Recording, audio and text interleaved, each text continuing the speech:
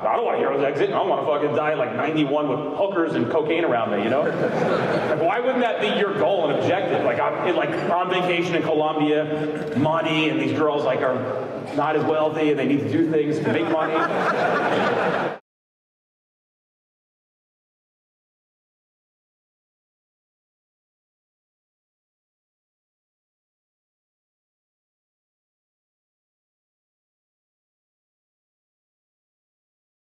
If you're trying to get a little booty boo poo nanny tang, whatever the hell you call it, okay, there's an approach. You don't walk up and say, Hi, what's your name? How old are you?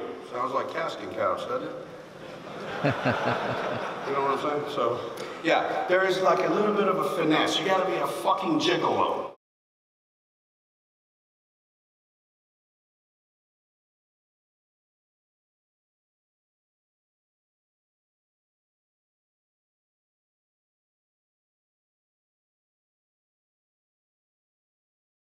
All right, so normally in my class, we open up that beer tap and I just start spraying people with information. But today, you guys are just gonna get the tip. I would be remiss if I didn't remind you or, or let you know that I have a three inch dick. I'm not the one with the one inch dick. There's actually people who drive around and will input into this website, hey, I just saw a fucking LV series Pennsylvania. You know, ah, ah, ah, ah you know. Murder or something like that? Ray, you got drugs in the car? I would never do anything like that. Yeah, okay. I watched this car come off the highway, and I, I fucked the shit out of the female driver. She doesn't want to fuck me back, though. It's gonna be the sneaky peek. And you all know the sneaky peek. Every guy in the room right now is like, what are you talking about? It's like when you're there and somebody walks by you and you're like, you're like, don't look. They just don't, don't, don't look, don't look. Okay, I'll just, I'll, oh, you know what? Hold on. Hey, what's up, buddy? Fake phone call. Okay, I looked. Understanding pain, both physically and physiologically, it, it's, it's important. When we understand what it does and how, what purpose it serves, it's just another thing that we can harness and that we can leverage as a weapon. I like it. You know, like, not like, hey, you whip me later? But maybe. You know, like, maybe.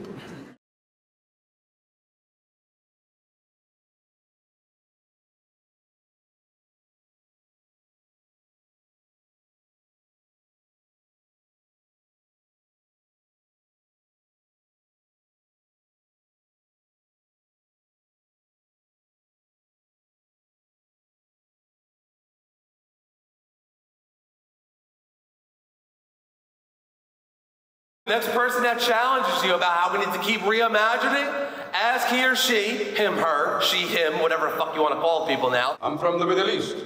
Everything is a business, even how we get married. You ever heard of the dowry shit? You know what a dowry is? I'd like your daughter. Can I have her? 150,000. You can have her all day long.